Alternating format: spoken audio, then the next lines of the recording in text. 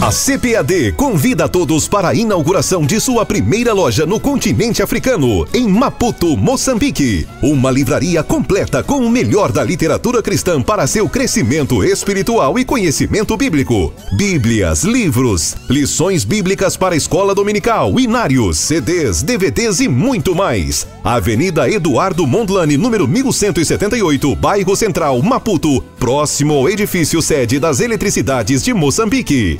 Inauguração dia 30 de julho, às 10 horas. Você é nosso convidado especial.